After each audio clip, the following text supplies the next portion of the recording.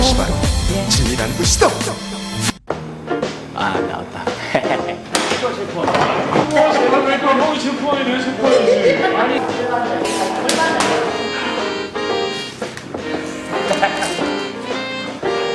영원할 것.